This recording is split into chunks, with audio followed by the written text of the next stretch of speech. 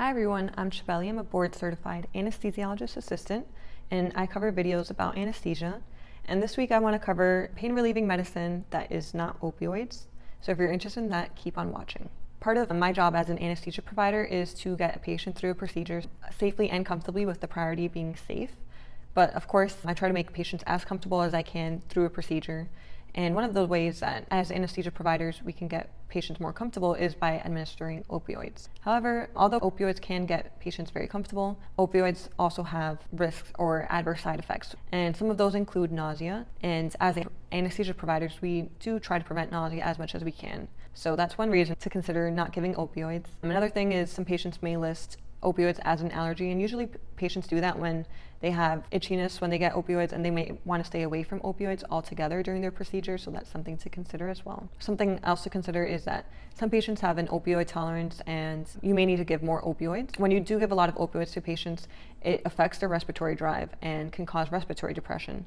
So when it comes to the end of a procedure and to get the patient back breathing spontaneously on their own before you can take out the airway device, some patients may have difficulty with that. So you may have to give a reversal agent called Narcan, which will then act as an antagonist for the opioid effects and will help them with their respiratory drive, but then they may have issues with their pain because you have not reversed the opioid. So you may be juggling respiratory depression versus pain. So this brings me to the drug that I'm covering this week, which is Toradol. And Toradol is not an opioid, and I'll get more into that later. And another thing to note is that in terms of fentanyl versus Toradol, I was in a case where this surgeon requested Toradol for a patient that was getting a renal procedure, which was cystoscopy, and I believe it was a stent placement. And so I wanted to look more into Toradol versus fentanyl in these kind of procedures. And in the study that I read, it actually said that patients that received fentanyl required more of a rescue medication postoperatively compared to patients that received Toradol. By giving fentanyl in the recovery time period, they needed another pain medicine versus by giving Toradol, these patients had less of a need for pain medicine in the recovery period. So to me, that was a reason to look into Toradol and understand it as an anesthesia provider, and that's also why I want to cover some of the reasons for Toradol and some of the reasons against it. Toradol falls into the class of NSAIDs. So NSAIDs act on COX enzymes non-selectively. So there's COX-1 and COX-2, and COX enzymes are responsible for prostaglandin production and prostaglandins have a diverse set of functions in the body.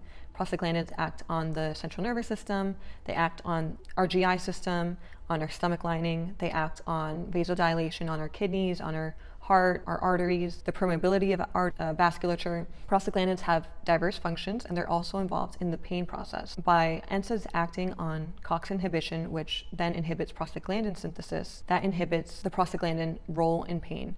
So prostaglandins cause inflammation, prostaglandins cause fevers, and they also are responsible for some communication between peripheral sensory neurons and the central nervous system, such as the spine and the brain. So, by inhibiting prostaglandin synthesis, you are essentially inhibiting this communication for pain and sensitization of pain between these sensory neurons and the central nervous system. So, that's one reason why Toradol will work as a pain medicine. There are some studies that show that COX1 inhibition has more adverse side effects compared to COX2 inhibition overall. Because of that, some people believe synthesizing drugs that are only COX2 inhibitors and not COX1 inhibitors, you can get the same effects for pain relief without some of the adverse side effects. However, there are studies that break down that COX1 enzymes and the prostaglandins synthesized from that enzyme is involved in the acute pain process. So it's involved in the acute phase of pain and COX2 is involved in the more long-term duration of pain, so the hours after the initial pain, COX2 is involved in. COX1 enzyme prostaglandins are involved in the initial period, and then COX2 enzymes prostaglandins are involved in the later phases of pain, so the, the hours after you're in pain. Toradol compared to other NSAIDs such as aspirin and acetaminophen was equal or superior in terms of analgesia. Acetaminophen is a selective COX2 inhibitor. There was a study that was conducted that compared IV Toradol versus IV acetaminophen, and in the study, patients that received Toradol had lower pain scores and also had lower incidences of nausea. Now, in terms of onset of different pain medicines, in the literature, Toradol takes about 30 minutes to come on board and provide pain relief, and then Toradol is redosed at about six hour intervals versus fentanyl, which takes about a minute to come on board and provide pain relief and will provide pain relief for about an hour. Morphine will take a couple of minutes as well to provide pain relief and then will provide pain relief for two to four hours. In terms of potency, I've asked students, how potent do you think Toradol is in regards to opioids? And someone had said, I believe that opioids are more potent and will provide more pain relief. But actually, there are studies that show that Toradol will provide at least equal pain relief. There's a study that shows that Toradol for five days, I believe it was intramuscularly, 30 milligrams, provided more pain relief than six milligrams of morphine and at least equivalent pain relief to 12 milligrams of morphine over a period of five days. And so that's pretty big. Toradol does not have these respiratory depressant effects. It's not known to be addicting where opioids are, and it doesn't have this euphoric state. That's a big thing to consider because opioids have their own side effects that people are trying to avoid, and Toradol will provide at least very similar pain relief to opioids. Toradol may be sounding like the miracle drug. Why not give every patient Toradol? Why not give patients Toradol from the beginning of the procedure? I've, I haven't really seen that done commonly. One of the reasons for that is that Toradol is associated with prolonged bleeding time. Toradol will inhibit platelet aggregation, and if you're going into procedure and you're doing a surgery, there are some risks of bleeding. So more commonly, I've seen Toradol given towards emergence when patients are waking up rather than in the beginning of a procedure before the procedure starts and you know you have unknown bleeding in the procedure. So i always check with the surgeons and i say are you comfortable giving toradol? Some surgeons love it and they want that given to every patient and some surgeons want to stay away from it for their own reasons. So it's always a closed loop communication on administration of toradol. However, I have talked to my anesthesiologist, and my anesthesiologists have 20 to 30 years of experience and they have said that clinically they've never really seen an effect of prolonged bleeding time of Toradol, so that's something to consider as well. A major, major reason to not give Toradol is Samter's triad, which is asthma, aspirin sensitivity, and nasal polyps. And the reason for that is that Toradol can cause airway irritation and it can cause life threatening bronchospasms. Whenever I see a patient that lists asthma as one of their medical conditions, I always try to investigate it as much as possible.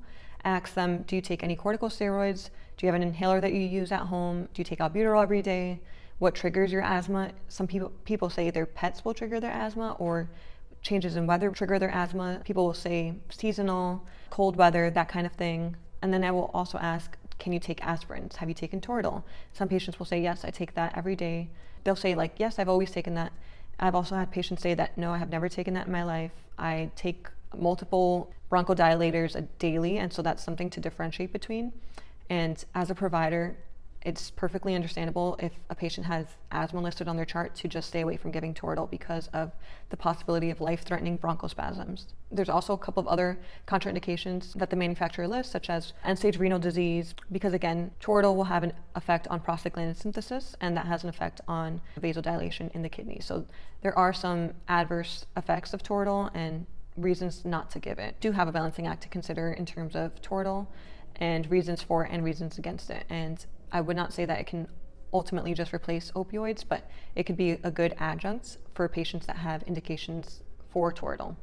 So I've seen fentanyl, which has a quick onset and it will last about one hour, be given more so during intubation or airway manipulation and the initial incisions. Then it'll wear off, but then patients that are okay receiving Toradol, I've given that towards emergence, towards the end of the procedure so that they have some long lasting pain relief during the recovery time. So that's kind of the way I've seen it done and the way I've done it.